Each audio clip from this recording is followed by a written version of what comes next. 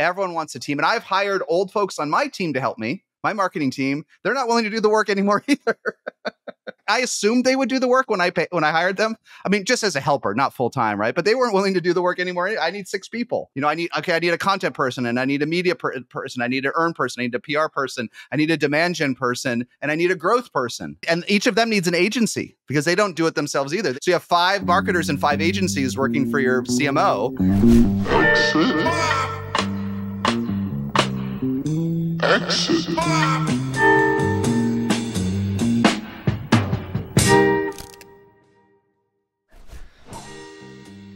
right, folks. My guest today, this is somebody that I've admired from afar for years. I was, you'll like this, Jason, an OG SaaStr reader. I remember when it was just an email, a blog and an email, right? Mm. When I first got into startups, like that was the stuff that made me pretend to be smart about SaaS. Uh, I went to my first SaaStr in 2016. I was a young marketing manager at a company called Drift. David Cancel, who's the CEO, he got put on a panel and we were like, we're going. He made me share an Airbnb with him, you know, like Oy. junior level marketer, travel with the founder. It was an incredible experience. That was a formative time in my life. And as a former marketing leader, leader, I've spent a bunch of money in and around SaaStr. And what I'm really excited about now is that you've built an incredible brand and a media company with SaaStr. He's a sales guy by trade, but I think he's one of the best marketers out there. Jason Lemkin, thank you for coming on the Exit 5 podcast. Thanks, man. Excited and um, excited to what sort of community you've built. I think um, community is an overused term, right? It became maybe almost abused uh, a couple years ago before AI got hot. Um, but most people don't have a community, so it is impressive what you've done. So um, I, I'm I'm a fan back now, watching watching what you're doing. Oh, that's that's amazing. Thank you. So I usually don't do any prep for these, but I was like, I was like, man, I got to bring my game. I got to bring my A game if I'm going to get Jason on on on the pod and. So I wrote all these prep questions last night and I'm going to take you through them just to give me a flow. But then I open up LinkedIn today and I see you wrote literally some of the worst senior ish sales and marketing people I've ever worked with are selling books or courses or both. Yeah. You've been warmed. I was like, man, that's a dagger right out of the right out of the gate. You know, it's, I mean, we can talk about whatever you want. It's, it's just, and I'm struggling with this, uh, Dave. I'm really struggling with how much the world has changed the last couple years um, for everyone, but much more sales and marketing, customer success, much more than engineering your product. The world has changed so dramatically, and so you got to look. You got to look for tells. Um, I'll tell you, I was doing an interview yesterday with the sales exec. There was a SaaStr super fan. And um, I, I, ordinarily wouldn't have talked to him. And the email exchange was kind of weird because it was both fast and slow. You know, it, it, recruiting is like sales. Like if it's if it's bad, it's not going to get better after they start. But it was weird. It was good and bad, right? So that's a weird sign. So I do the meeting super fan, super nice guy. And we're about 40 minutes in at the end. he's like, Oh, I don't want to do that. I'm like, okay, why not? It's like, well, I'm I'm looking to do at least four or five jobs at the same time now. And like, you want to be like a fractional or a consultant? No, he's like, I'm looking for four to five jobs this time. I'm like, I don't need you on my little team, but more more power to you. That's crazy. You know, I, I was going to ask you about this later, but I can I can sense this. You have a lot of energy in like the way you write, and I, I think you're a good copywriter. But you've you've been writing more about this theme in the uh, these are not your words, but so paraphrase it as, you know, take it as you will. But like you kind of been hitting on this theme of like people aren't working, like things have changed. People aren't really working hard. There's not a lot of loyalty and commitment. There's there's something in there. Where does that kind of narrative stem from? Is it just from what you've seen over the last couple years? Where, yeah, I mean? I'm okay with it. I have a few personal thoughts. I'm more just trying to help us all as a as a set of leaders recalibrate what we expect out of people. Um, you know, the the biggest tell to me, you know, there, there's all these vibes out there, right? There's vibes, and um, one vibe is I, I quit, I'm out of here. Like it's all over my YouTube feed. I've got this whole feed like. I was a senior engineer at Spotify for four and a half years. It's one pro women. I quit it. I, I I quit with no notice, and now I can't find a job. There's all over mine. But um, it's just where wh- how do we recalibrate in this world where we got to get shit done? But and this is what folks, it's not your problem, but you don't get budgets. Roughly speaking, are half of 2021 because revenue per employee is doubled. If we have to make 400,000 in revenue per employee, and it was 125 in 2021 folks don't I, you don't have to care but you should understand this where's it coming from where's 400k in revenue per employee coming from and i get that folks are whatever they're burnt out or the world's changed or this weird world of second half of 2020 to early 2022 lasted a long time it wasn't three months right it was two years of of insanity. But the problem for all us as leaders, as VPs, as founders and CEOs is we truly have to do more with less today. There's no choice. And if folks don't want to do that, if they want to be paid 150 and up to have a team of seven to do a podcast, you're doing this yourself, man. I haven't. yeah. I get it. I, it did kind of bother me last year. Now I get it. I'm like, but where's the money coming from? If Dave needs seven people to do a podcast, how much does that cost? And they all want to make six figures. Like all of a sudden, that podcast is a million bucks a year, isn't it? Or they do it and don't want you to put it under the scrutiny that it would deserve at that investment yeah. level. It sounds like I'm a critic. I'm, I'm more just pointing out my I'm I'm learned I don't have I have a lot of answers in SaaStr. I really think I have some good learnings over the years. But this one I don't know the answer to. I don't yeah. I don't know the answer to. And it's funny, I had a friend of ours that you know helped me. I'm trying to hire um, an email marketer today that can send ticket emails from us to the events.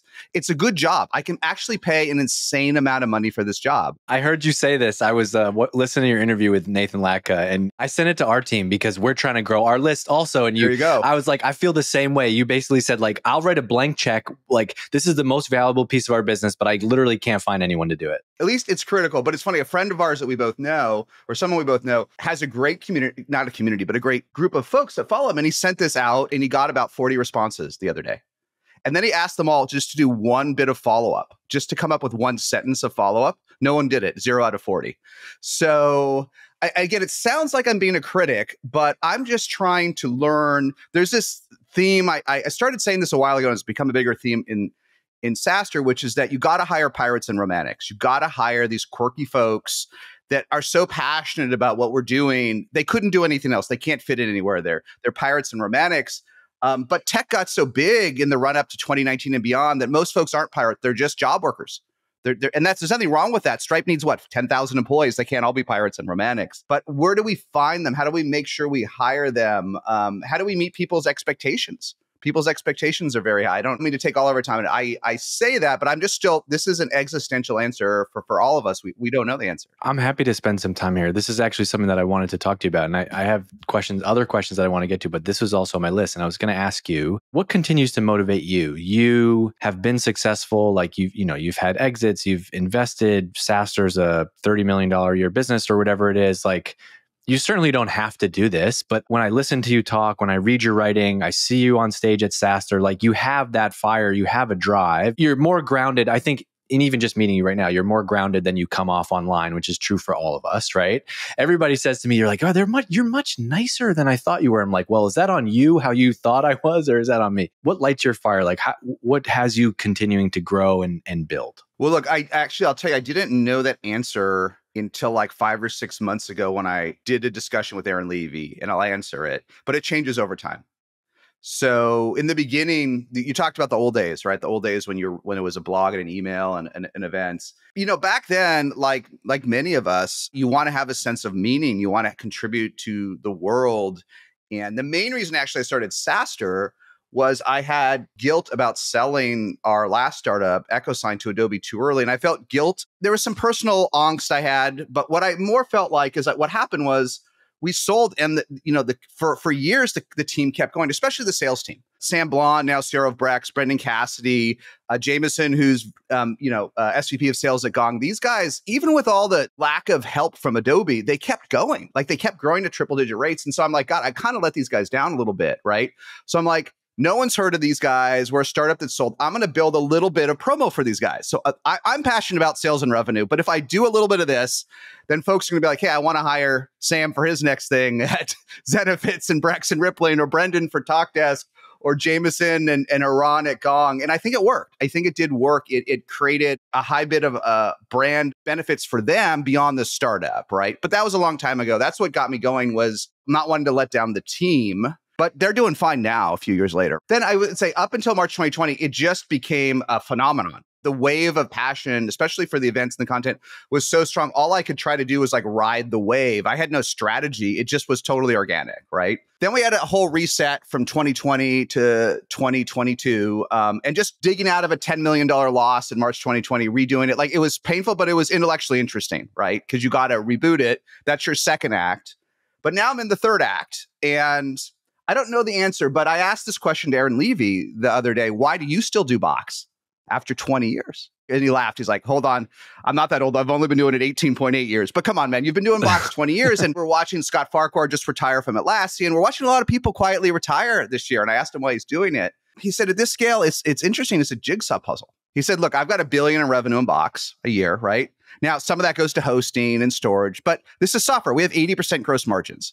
So out of that billion, I got $800 million a year to play with. I got $800 million of people to hire and products to invest in. Now, it sounds like a lot, but it takes a lot to run that billion dollar company. And I wish, he said, I wish I would grow faster. I wish I could do more. But that's the fun part is taking 800 million and playing it out. And I know it's a long answer. I am stimulated every day working on SaaStr because it's a jigsaw puzzle. It's a, once you, everything at scale is a jigsaw puzzle. And I didn't get it, but now I see it. It's frustrating but it is intellectually stimulating to be to have something that's above a certain level right? Every day you got to figure it out. It's like a different um, if you're a competitive person and it, the game keeps getting more challenging and you have different ingredients and different circumstances and you're you're playing a new level of of the game you said you don't love it which i think is something interesting and i, I want to just share this story with you. So in 2020 i do think we a lot of us in tech and saas had that kind of like man, is is what I'm doing that important? Like, you know, the world is crumbling and like here I am peddling software. That's the woe is me moment. This what am I doing selling accounting software, insurance software?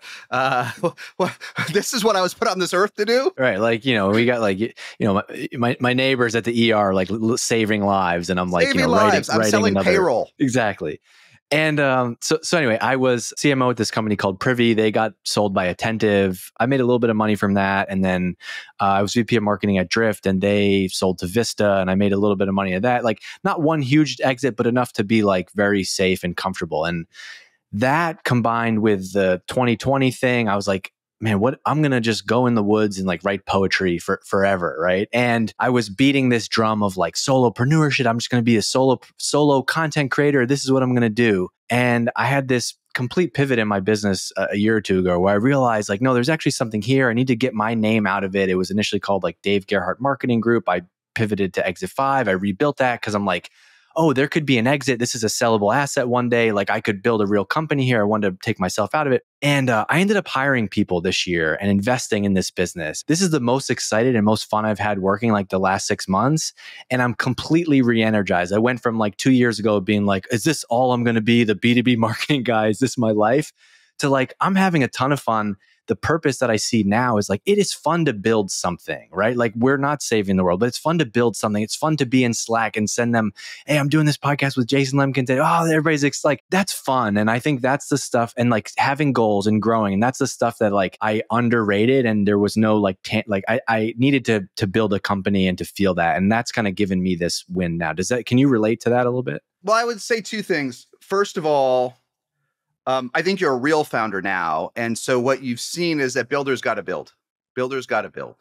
Um, there are Machiavellian founders. There are folks literally in it for nothing else to make money, but that works better in later stage parts of tech, financial engineering. Most folks that can get something off the ground to seven figures in revenue are builders. They're builders, and builders got to build. And when I sold both my startups, I was I, I've never been depressed, but I was at the edge both times without building at the edge of depression both times crashed. My partner's tesla the second time one of the first model s's took it off the, the lot just was a little blue but so builders builders do have have to build. However for folks that might watch us i do think this solopreneurship thing even though it's it's kind of it's a little bit less alluring today than it was a bit ago i i, uh, I hate to say this because i might get flamed for it but i do think there's a heavy toxic element to it. It's heavily toxic that i can flee my horrible sales job where I'm only making 240K OTE. It's horrible. And I'm going to be a solopreneur. And I'm on this guy's newsletter, and he tells me he's up to six million a year doing it.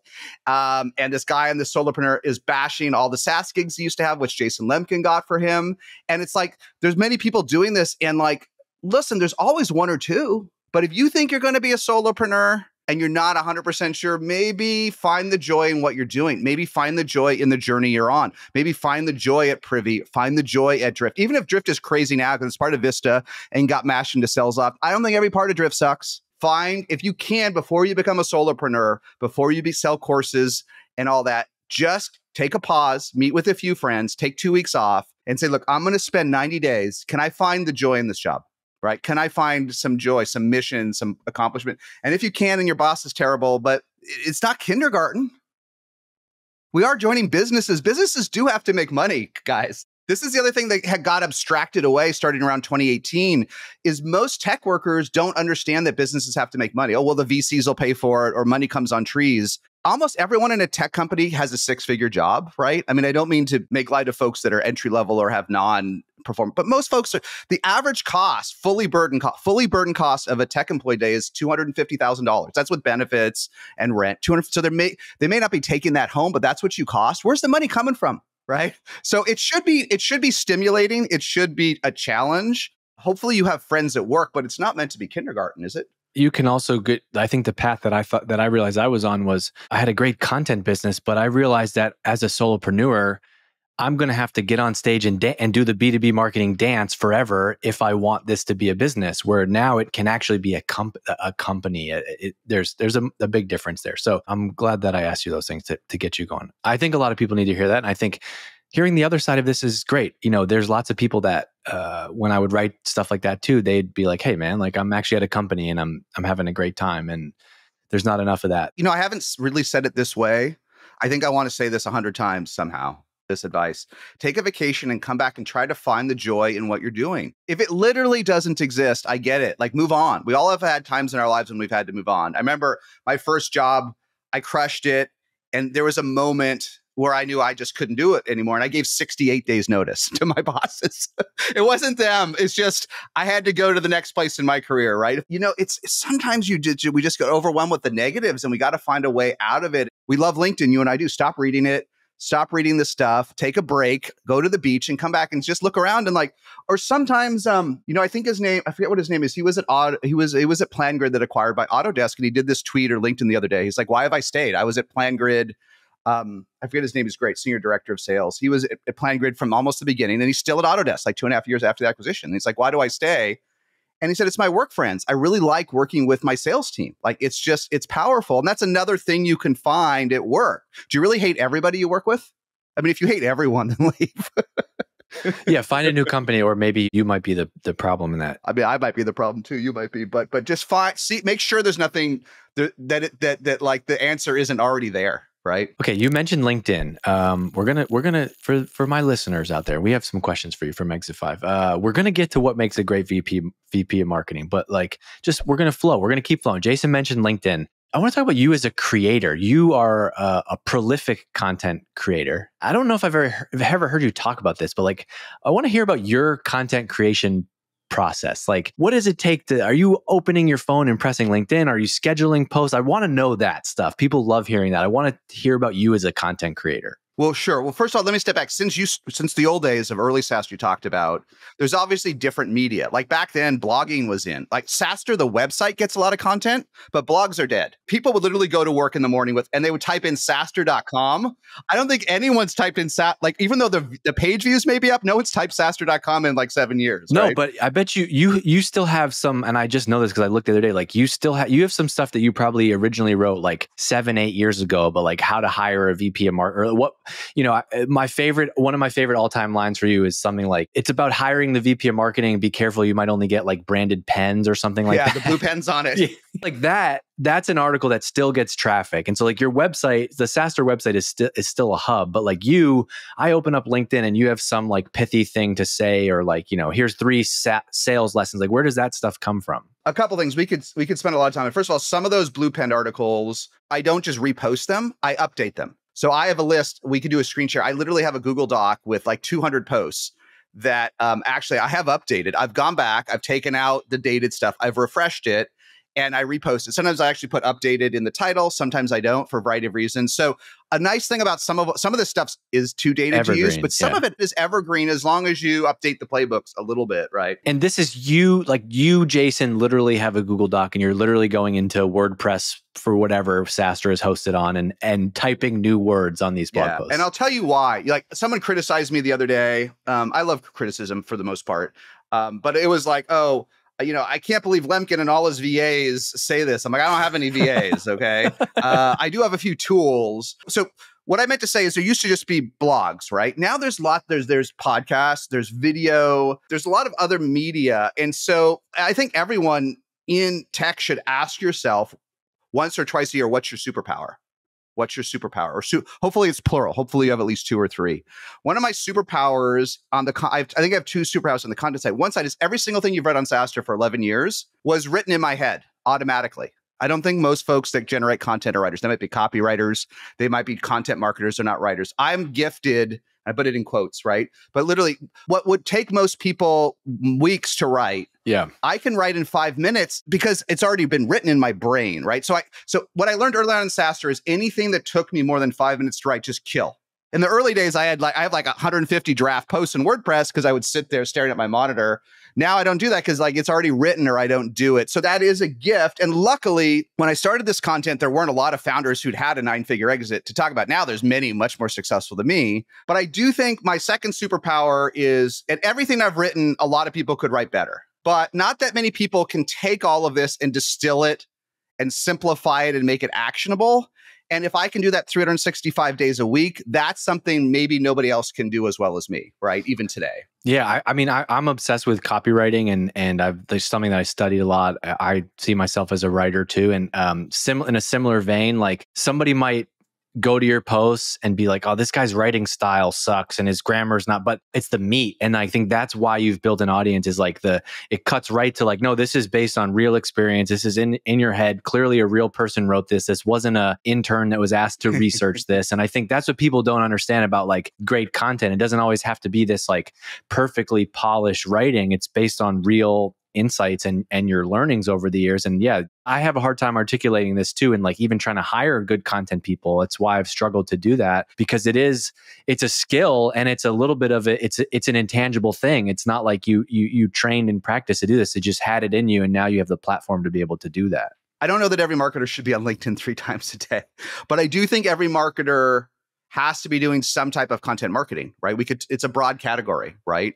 And I think um the thing that sounds obvious, but I see folks making this mistake again is um do what's ever easiest. If you enjoy doing a podcast like we're doing, you genuinely are passionate around it. Um, because it's a headache. You got to find guests, you got to transcribe it. But if that's your passion, do it. Even if you don't know how to get the the downloads or whatever, do it, right? If you love to write how to do AI chatbots and you love to write, then write that content for Drift, right? If whatever it is, if you truly love the engagement you get on LinkedIn for real, like you love it, it's not cynical, then then figure out how to do it programmatically so it works for your business. But pick one type of thing or blogging or content. But I find too many people are tortured writing, they're told they have to write canonical SEO posts and they don't know how to do it. Don't do it. Don't hire an agency that lies to you and tells you they'll do it for you. Just do something that you are good at and then figure out how. Then the beauty today with social media is figure out then just how to get the most distribution you can and just do better every month, right? So pick something and do it well. Don't try to do the, the 10,000th lame uh, white paper or podcast the world doesn't need. Do what you're passionate about. It's the one, one time where your passions really are the right way to go is in content marketing. So the website is basically this hub of all of your content ideas from o- over the years. The stuff that people see on social, is that you going there? Are you scheduling stuff? How does that work? A couple years ago, I never scheduled anything. In the old, old days, we had an admin that would manually do stuff, but then the algorithms changed and that stuff didn't work. Um, literally for the first years of SaaStr, I never even logged into some of our social media. I didn't have time. We know when LinkedIn just started to get, I was very cynical about LinkedIn at first. I thought, uh, you know, everyone was celebrating their engagement. I'm like, go to work. Today, it's a force of nature. Like, I, I, I it has yeah. evolved. We could chat about it. But in the beginning, I remember I put up, I just put up an old tweet for fun, but I, I said, okay, what's the most popular tweet I've done this year? And I got a million views. And I'm like, okay, I'm a slow guy, but like forget about what I did. Like there is there is something here. And so now basically what I do is all, all, all the way through 2025, I have one piece of content on LinkedIn and Twitter that's already pre-scheduled through 2025. My morning content is done for me. So worst case, I'm done through next year and I've got something pretty good on both these channels. And if anyone here really likes my content, you'll see that the morning and the afternoon content are very different. Okay, so interesting. So like the thing that I so so I saw that post this morning, which was the some of the worst sales and marketing people have been selling. Th- that one's scheduled, but I feel like I see another post from you that is a little bit more like I just talked to the C I just talked the CRO of this type of company and yeah, and then what I generally do, listen, this is a lot of inside baseball. Then stuff writes it in my head, right? And I, and I write too much. And so I'll have a moment and then I, I love my iPad with the keyboard. So in the morning when I'm having coffee, I write something again. But what I've learned over the years is actually the the authoring environment, the container you use actually molds the content. So WordPress likes a certain type of content, and it's great for embedding YouTubes and embedding podcasts and doing other things. LinkedIn has this uh, has this it, it, it's a little annoying, but it has this very bare bones text based environment. And for folks that like to write like you and me, actually LinkedIn's a gift because text isn't loved by other environments. So for me, I think I can write an afternoon LinkedIn post in a couple minutes. That's pretty interesting, and I like it's just relaxing. I can sit on my iPad and have my coffee, and whatever was on, I get it out of my head. And the key is it takes zero time because it's already in my brain. Got to get out of my brain somewhere, right? Should you and I talk about it, or should I share it with 280,000 people? It's probably more efficient efficient to. I could type it faster than I could say it. So maybe that's TMI, but that's so. But do what works, and then all the other stuff that doesn't work. You know, I was I've talked to a lot of folks who give me advice even at this stage, and like, but it's exhausting. I was talking with a leader, a podcast leader who I love, and he was telling me how to fix the SaaStr podcast. SaaStr podcast is like top 50 in tech but it's not going to get into the top 10 unless it's totally changed. We could talk about why it has to be totally changed. And he was completely right. I thought about it, no criticism. He was pretty critical, but then I thought, I'm not going to do this.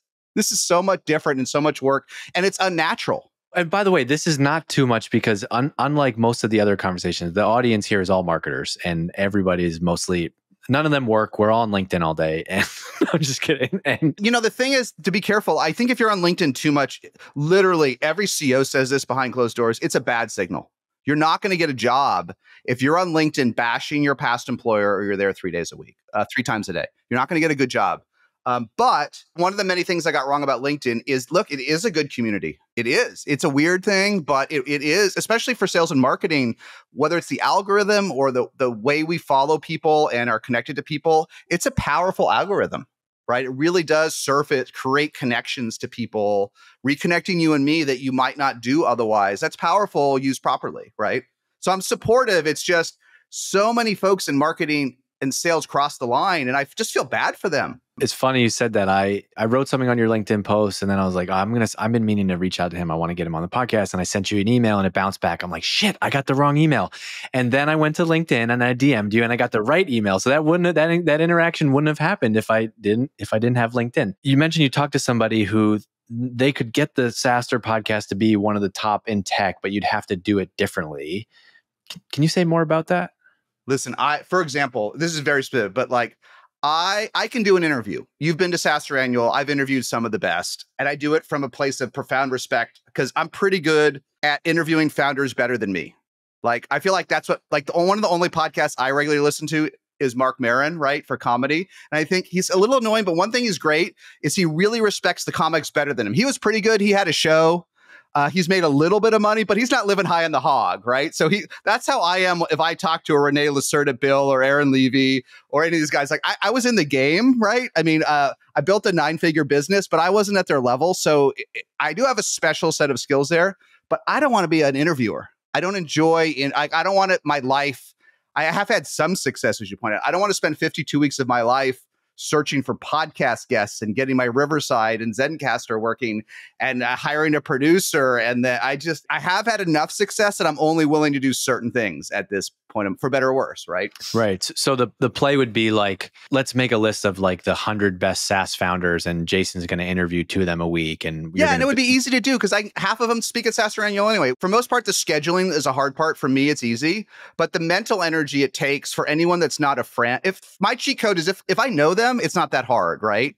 But when I have to interview someone I don't know, like it, it just burns. It's okay, but the the amount of concentration and mental energy it ends up being one of the hardest things of my week is that is that discussion with someone I don't know. If you look at the last four years of SaaStr Annual, the folks that I've done, like Eran from Monday.com last year, like I've I've met him four times in person. He's been in my office. It's not that hard, right? Ben from from Mailchimp, who I've known a little bit, not great friends, right? Dharmesh or Brian from HubSpot, like these are iconic names. But having just a tiny bit of a relationship before it, for, for me, we're all different, makes it like seven trillion, bajillion, quadrillion times easier, right? And me having to sit up with whoever the new CEO of Snowflake is and make it interesting, that's beyond my skill set. I can't make him interesting, right? You know, sometimes I'll get I'll get like PR uh, PR firms will pitch, you know, their CMO or whatever for this podcast. And I want to do them because like some of those big name CMOs would help with this audience and grow the podcast. But the problem is like most of them I get on and it's they don't know who I am. We have no chemistry. We have no interaction. It's very much like they're expecting like the next question. It's not conversational at all like this. And so that is that is taxing for sure. But it's an art. If you look at like what Harry Stebbings does or Lenny does on product, they're pretty good at those.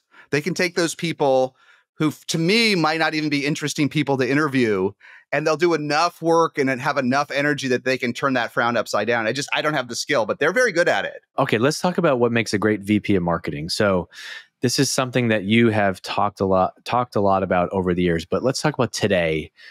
Give people actionable advice with whether it's through your network, your portfolio companies, people you know. What does a great VP of marketing do and what do they look like today? A lot of nuances aside, the former hasn't changed, the latter's changed a lot. What does a VP of marketing do, right? Unless we're in B2C or in um, self serve, a B2B marketer has always done the same thing, which is put stuff in the funnel and then help move it down. And the tools have evolved. But you know, the funny thing is about B2B marketing, uh, I think this growth and self-service playbook have changed more. It, the consumer stuff always evolves more rapidly. There's a lot of reasons. Viral loops have changed. But the basic toolkit of targeted outbound drip marketing, content marketing, webinars, events, it hasn't changed at all. It's all still works. Even things, you know, I actually thought events were archaic until I had a moment after lockdown to reflect on why they exist for marketers. I never actually talked to, we have 200 sponsors a year at SaaStr. I'm embarrassed to say until 2020, I never talked to one of them. It's terrible to not talk to your customers. It's an F, but I never did. So I never actually understood it. But the playbook works. Um, the tools are better, right? Um, the problem is, um, and again, this is where some people get upset with me when I say this, but to be self aware, everybody needs a team today, Dave. And I, I, will interview a marketing manager with 18 months of experience. And the first thing on their LinkedIn is strategist. They all need a team. Everyone needs a team. Even if you raise a little bit of seed capital as a founder, you raised a couple million dollars, you don't have budget for five marketers. So what I see again and again is too many folks taking a, a startup marketing role, and no matter what they say in the interview, right? They're not willing to do it. They're not willing to do the webinar. They're not willing to run the campaigns in HubSpot and build the list. They're not willing to do it themselves. I said this last year to be critical. I'm not critical now. I'm just sure. saying be self aware that this doesn't work for either side. You're not going to be happy if you join an early stage startup and the CEO is going to be expecting you to, because he's doing it himself. The CTO is doing it herself, right? The sales team's doing it themselves, but the marketers all want a team today. And don't be mad at me who's ever listening. Just hear the truth in it and be self aware. Are you really willing to do the work? Everyone wants a team. And I've hired old folks on my team to help me, my marketing team. They're not willing to do the work anymore either. In fact, I assumed they would do the work when I pay, when I hired them. I mean, just as a helper, not full time, right? But they weren't willing to do the work anymore. I need six people. You know, I need okay, I need a content person and I need a media per- person, I need an earn person, I need a PR person, I need a demand gen person, and I need a growth person and each of them needs an agency because they don't do it themselves either. So you have five marketers and five agencies working for your CMO at 2 million in ARR. Again, going back to the beginning, Great. Okay, I'm zen about it, but who's going to pay for it, Dave? Who's going to pay for five marketers and five agencies under your CMO or VP of marketing? Who's going to pay for it, right? Do you think there's a revenue stage where that is okay? Is it like 10, 50, 100 million dollars where this the CMO yeah. yeah. Here's a cheat code.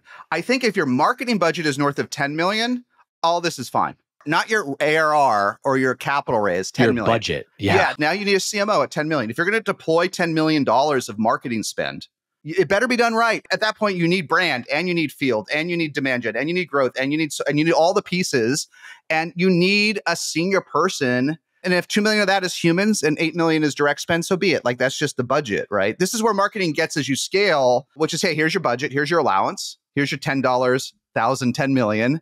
Uh, generate as much pipeline as you can. That's that's the job. But um, we got warped in 2021 because there was so much capital, not just so much capital in general. Actually, I don't think that's the problem. It was so much so early that these jobs became warped because you could join a company at a million in revenue and have enough capital to hire 10 people, right? I think it will be 20 years until it will happen again, but it may be 20 years, right? Until we see that again. So we do need that. Just be aware that like if you're going to join something with less than 10 million in marketing budget, you may have to do work you don't want to do and be honest if it's that if that's you. Don't wait four interviews in because sometimes the CEO doesn't even know. They don't know what the job is. I actually find most VPs of sales and CROs don't know what marketing does either. So the people you're interviewing with as a marketer don't actually know they ask the right questions here.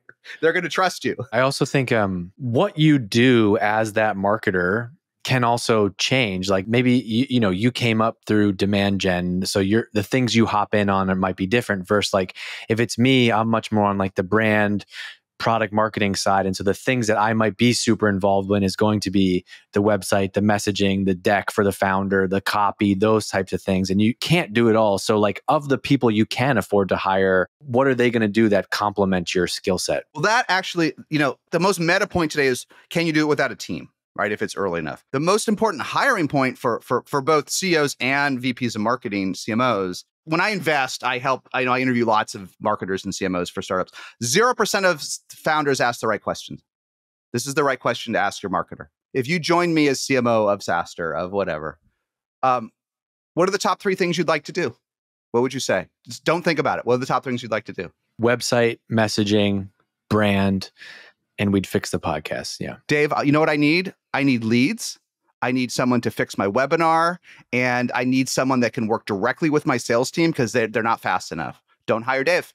It's just that simple because there's two mistakes that CEOs make. One, they love Dave because he worked at Drift and, and Privy and he did all these great things and he's articulate and he's smart, but they didn't ask the question. They just assume Dave wants to do demand gen, email marketing, paid so they just assume this. They don't ask. And even worse, and one of two things happen. Either just Dave doesn't do that stuff. This is actually really what, not you, but most Daves don't even do the other stuff. Two, they hire someone to do it and they have no passion around it, right? Or three, the be- the good human beings like you say, "Oh God, that's what Jason wants." You go do it, but your heart isn't in it. Hmm. To boil it on, I say, listen to founders. I say, listen, your marketer's only going to do two or three things.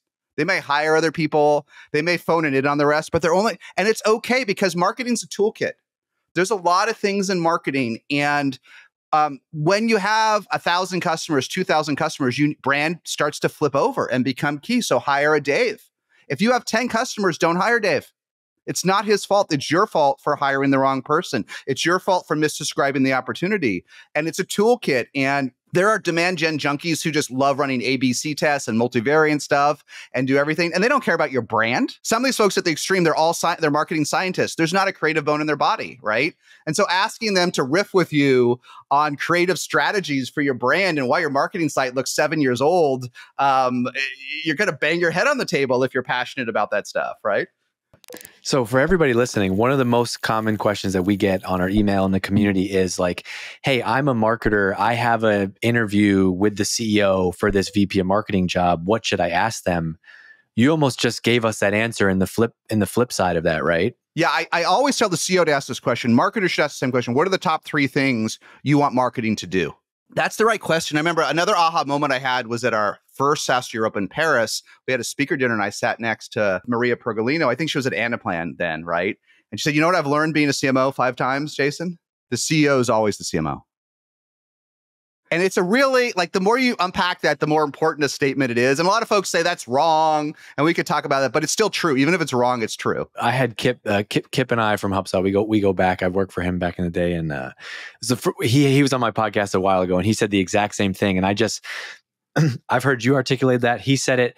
I just burst into laughter because that's exactly like when I was at Drift, I was the VP of marketing. David, who's a CEO, was the CMO. He had the yeah, vision. He's a marketer. He's a mark. I'm executing on the things he wants. Like it's going to be his way. And the quicker that I learned, the reason that I rose at that company was because I just basically became his right hand person and I I executed all the things he wanted his way, and that's how I grew. Versus like they hired three VPs of marketing over me before I eventually became the VP of marketing. Each one of those person, each one of those people within two weeks, he was back to me like behind the scenes, like, you know, having me do the things. And it's like, that's exactly what you said. Once you realize that, life becomes much easier. And if you're interviewing and it's clear that that, per- that CEO is not the CMO, then like that's not going to be the right company either. That means they have no vision for marketing, right? Sometimes a very a, a, deeply technical product with a lot of product market fit. They're, they're the founders are not interested in marketing, but they still have a vision of how to get to developers. But my point, you're, I agree 100. percent My my point to flip it around is because the CMO, CEOs, CMO, no,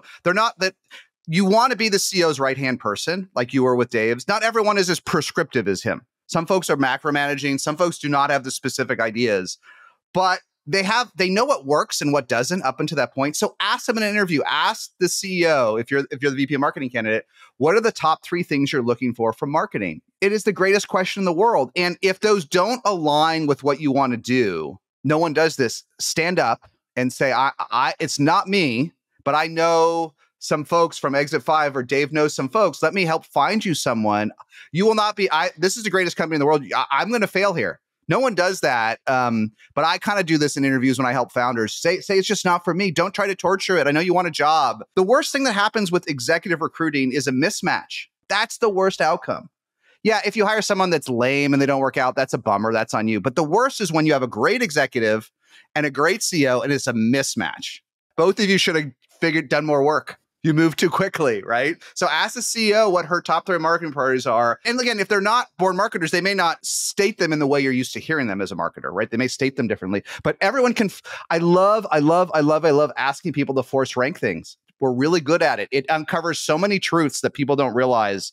It's borderline trick question to ask me to force rank things. Yeah, I think it's great. And to to be confident enough to admit the things you're not good at is a very telling thing also. Good friend of mine, I texted him.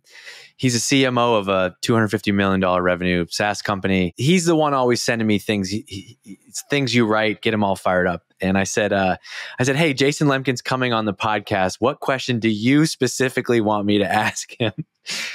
He said, "You." This is verbatim his text message. You for sure need to talk about the CRO slash CMO thing and get him to admit that they are different jobs and that having marketing under a C- CRO is an awful idea. Yeah. Tell him that. Tell him stuff like that gets marketers all fired up. None of us want to work for a CRO. Literally, no one. I'm not asking you to really to defend the point. I believe both sides is actually. I've seen a lot. I've seen so much misalignment between sales and marketing that, like, on paper, the idea of like, oh, well, if they all report to the same team, then like the nonsense over metrics and credit kind of goes away. Um, but just more so given like your background coming from the revenue and sales side, like make the case for marketing rolling into the CRO. Well, first of all, I think it's a terrible idea. Let me simplify the answer. A terrible idea. There's two simple reasons. One, almost no CROs know what marketers do. Two, um, they you spend even more money. This is what I've learned. The companies I've seen that do it, there's no control. And well, here's what happens. And then I'll tell you why it happens which is maybe the bigger learning. If you have this, the marketing report to CRO, there's a certain efficiency in it, right? They, they, get on the same page, they have the same goals, they have the same KPIs. It actually feels more fun in some ways because you're absolutely a team, right? Marketing becomes embedded in sales.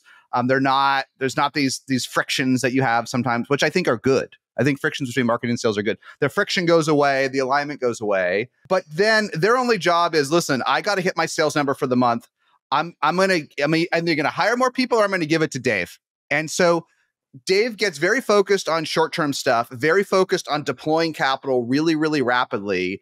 And there's no check and balance here. And it sort of kind of works for companies with infinite capital a little bit, right? Um, but beyond that, it, you, there's just no there's no yin and yang. It's the same problem with CS having now been part of sales.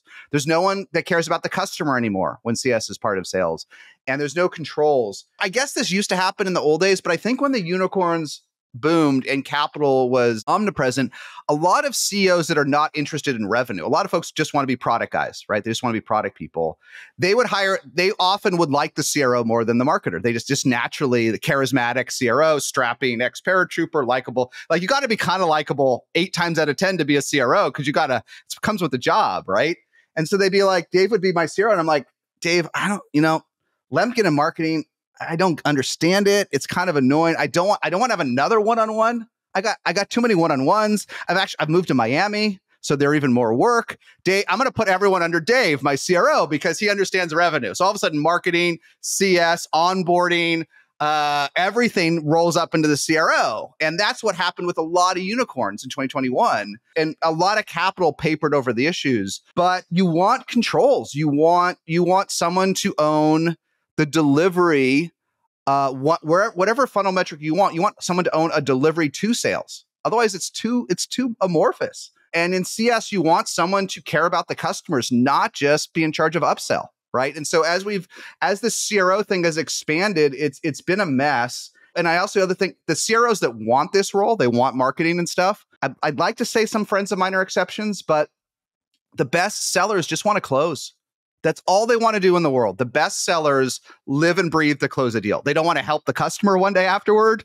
They don't want to follow up. They don't want to market. They don't want to go to a webinar. All they want to do is take a lead in, that has a 10% chance of closing and close it. That's where they get their rush and the paycheck that comes with it, right? So anything else sort of it corrupts the value of the best sellers. Yeah, like what you said earlier, the job of marketing is put stuff in the funnel, move it down. They don't want to they don't want to do any of that. So that's interesting. It's interesting to hear you articulate that because it actually ends up becoming worse because you almost outsource more of marketing because you're like I'm not going to be involved at all here. I see this again and again, especially product focused or developer focused companies, the CEO just doesn't want to deal with it. And this this this charismatic CRO becomes the natural place to put everything revenue. But for them, like they still have to hit the number too. So does it really benefit the CRO if they have to own three things? Because they're judged on the air on the bookings growth, right? They're not judged on uh, how many lead scans they got at uh, DriftCon or SaaStr Annual or how much pipeline they generate. Like they're judged this month. What did you close this month? And anything that distracts your sales team from that uh, is bad for them. So that's a that's kind of a a significant trend that, and and I'll just say two things on it to, to CEOs, buck up. I know the guy at Nvidia has 68 direct reports or whatever that kind of lit up social media. That people love that. Yeah. Yeah. I don't think I could do that, but I think the best SaaS organizations, you've got to learn how to have a, a, a sales head, a marketing head, and a post sales head all report to you, all of them. And I know you don't you just want one and maybe you do two do two one-on-ones a month rather than four or whatever, but you got to suck it up and own those as discrete functions or your company will not be as successful. Learn it, embrace it. Not everything you're going to be in love with. That's part of the job. If they're each direct reports, you're going to come to a better answer if it sometimes makes sense to consolidate this function, right? Rather than fleeing from a management structure, you just you just not fun because you're because you're you know you're working at the beach the micro one, which maybe I thought he was getting it, which it wasn't, it's a really minor thing. And I know there are many examples in B2C where this works. Um, I, I, one of my old co-founders is doing this, but in True SaaS, I never see the CMO to CRO work. Don't do this, guys that are listening or watching. Don't do, or if you do do it, be effing self-aware a subset of CMOs or marketers think sales is more glamorous. It pays better, it gets more attention, and they want to jump the not everyone, not most, but some want to jump the fence, right? To the other neighborhood, to the sales side, right? There's so many issues with this that we could have a whole podcast on it, but there's a profound one to ref- if if you want to do that, if you want to jump the fence, ask someone you trust, ask a VP of sales you trust, how are you going to hire the reps? I don't know a single aggressive AE that wants to work for a CMO. None of them do. None of them do. They want to work for the Sam Blonds and the Brendan Cassidys and the whomever. They want to work for the glamorous CROs, the Mark Roberges, and the they want to work. This is what they live and breathe for, right or wrong. Right or wrong. They do not want to work for David Marketing. Doesn't matter if Dave's a better boss. Doesn't matter if he's smarter. They, the AEs do not. They have. They're on a singular mission, right? I like that. It's just uh, reinforcing like the the different beings and let let let them be. I think that's a great message to CEOs and founders too. Like if you if you're going to sign up to be a CEO and a founder, like you need to understand marketing and that that's part of it. And and by the way, today so many like so, that there's so much product involved there that it, it's it's it's not what it used to be. Um, okay, we got to wrap in a minute, but I got one question. There was like a bunch from the Exit Five community. We ended up covering a bunch of them, but this one's from Matt in the Exit Five community. Jason, if you were starting SaaStr again, what's one thing that you would avoid doing? Without question, it was what you and I were on LinkedIn about. Without question, I would not do events of any size. I would not do an event north of two to three hundred people. Under two to three hundred, no problem. Or even a, a meetup on steroids. You know, the first the first SaaStr meetup in 2012 or 2013 we had 800 people show up to a deck in Sand Hill but that was it was a deck. There wasn't even content it was just a deck and oh my god i'm like okay this is pro- i don't know what this is but it's product market fit if 800 people show up. I didn't even have an email list it was just a tweet and 800 people came. I don't know why but um but that's anyhow we could talk more about it or less about it. There's just uh I, i've gotten like four or five vc funds and like billion dollar exit founders reach out to me the last couple weeks that want to start events and, and, a handful that are starting media companies dave and i just think they don't understand what they're getting themselves into the ones that want to understand media companies don't understand how hard it is to get even a million dollars of sponsorships or membership they don't understand it we could talk about it. That's the problem on the media side. A million dollars is a lot. On the event side, they don't realize that um, you can make a couple hundred grand a year profit on an event if you work your ass off then it's 10 times more work and you start losing money. So I love the events we do for SaaStr because it's our superpower. No one else can spool up a 15,000 person event like we can with the elite level of quality, the elite level. It, there are many issues. We could make a, a whole list, but no one actually can operate at our level. So it is a jigsaw puzzle. It's fun, but I strongly would recommend anyone doing events keep them small and focused and bound what you want to do and don't look at it as a revenue stream because everyone doing anything vaguely media, they look and they look, oh, you know, TechCrunch does it. Well, they lose money on Disrupt and it kills them. VentureBeat does it. It doesn't exist. Like Gartner does it, but there's reasons Gartner makes money off of it, right? It's so hard. I'm proud of what we've done, but it was a complete accident. It was a com- it was not intentional. It was a complete accident. I would not do it that. over again, but the I'm happy that we did. The num- like your number one product is like you wouldn't have started it again, right? Know, knowing what you knowing what you know. I wouldn't now. have started like, it. I'm lucky now. Uh, we have a great team. Amelia runs a lot of it. It's terrific, but it's but the amount of if I wouldn't have done it strategically from day one because it takes so much time. It's so distracting. I could have built so much more content, done so many more investments, done so many other things with those thousands and thousands and thousands of hours and all the mediocre consultants and agencies that always quit a month before the event and then you got to solve it and all the human dramas and the union the, the union aggro things where you have to pay 100 people to watch other people doing work and the, the $200 turkey sandwich. And it's just like you really want to figure out how to fund a $200 turkey sandwich or a $40 glass of wine like just if you're passionate about the $40 glass of wine go do it right? Yeah i love i love what you said to me. You said uh, use events as a con- community enabler and i think that's where we're going to approach it. Like we have we have 3500 paying members in our community. We have a, a media properties in in podcasts. We'll we'll do over a million dollars in sponsorship revenue just on media media alone this year and so now we're going to add small events as a way to like people said, like, hey, we want to hang out in person. But I, I don't see them as being more than 20% of our, our revenue in the future. And even just looking at this one of it, we're doing our first event. It's like 150 people. I've sent so many messages this this last couple weeks to be like, I can't even imagine the scale of SaaStr because like how much it feels like just to buy these just to buy people breakfast and lunch and the AV cost for 150 people. I'm like, this is so stressful. So it really is amazing w- what you've built. Thanks for giving us an hour on the Exit 5 podcast. We covered a bunch of things. Um, do you want to quickly just plug SaaStr? You have you have an event. Aren't you getting on a plane soon? You got an event coming up, right? Yeah, don't need to plug, but if people want to come, we can do everything. We can do a special Exit 5 pass or discount anything you want. But yeah, we do um we do SaaStr Europa in London. It's June 4th to 5th. It'll be like 3,500 folks. It's pretty informal. It's pretty chill. And then SaaStr you've been to, that's 12, 13,000 folks, September 10th through 12th in the Bay Area. That I think every founder should go once or twice. Um, and I think almost every marketer or revenue professional should go intentionally. I don't think there's a better way to meet founders. And I don't think enough revenue leaders network enough with founders. They do it randomly when they need a job come meet 100 CEOs for real. Founders are humans too. They're weird humans. Now that you've become one, you can see that that they're a different breed. But too many too many revenue professionals just self-associate, right? Which you should do. You need your safe space, right? But come to SaaStr once or twice, um, not for the CMOs or the CROs, they're there, but come for the founders. Because there's not a higher density of founders north of a million than at SaaStr Annual. And that's that's our 10x ICP. Our 10x feature is just being able to do this. That's our 10x thing. But what people don't get is, you know, CEOs don't do anything. They have no time. You can get marketers to go to an event. You can get marketers to show up. It's not that it's easy, but they'll do it. CEOs, no way. Unless unless they're laser focused on achieving their goals, you can't get them. They don't have any extra time. You don't have any extra time even anymore, right? Right. So That's meet great. more for revenue executives. Meet as many CEOs above a million as you can. You, you people under network here. All right, man. Thank you. Yep, thanks it. for all the time. Exit. Exit.